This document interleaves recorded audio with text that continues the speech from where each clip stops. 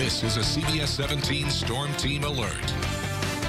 Good evening. I'm Wes Hohenstein live in the Weather Center. I want to give everyone an update about the storms moving through. Some of them have gotten larger and stronger, and we have a few severe thunderstorm warnings to pass along. As you can see behind me, very heavy rain, a lot of lightning with this system, so you're probably going to hear that as you drift off to sleep.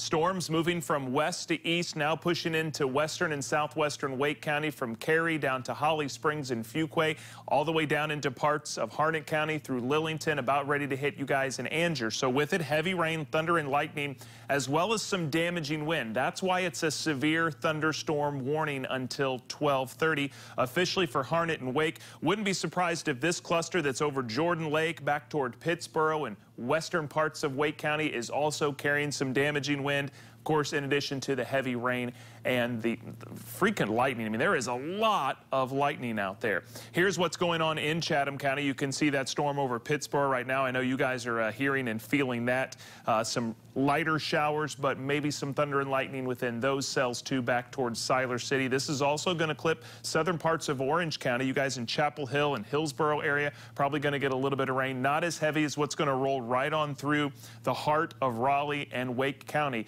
These storms mean business. Again, we're not seeing anything like a tornado, but some really strong winds as well as heavy rain with thunder and lightning. Not as intense because the atmosphere is a little more stable in parts of Harnett, excuse me, in parts of Moore and Hoke County from Pinehurst down through Aberdeen all the way toward Raeford. So that's another cluster of showers. Another severe thunderstorm warning. Again, this goes until 1230 right on top of Clinton up to the northern parts of Sampson County. These storms are moving off to the east. They're eventually going to run into the Mount Olive area into parts of Wayne County. That severe thunderstorm warning for Cumberland and Sampson County until 1230. So it's a lot for this late in the evening, but remember, from Raleigh on south, this is an area that didn't get storms early earlier, so there's still a little bit of energy left in this atmosphere sustaining these storms for the next hour or so. We'll continue to keep an eye on it. All of this will be gone by morning, and the only thing we'll have to deal with is heat.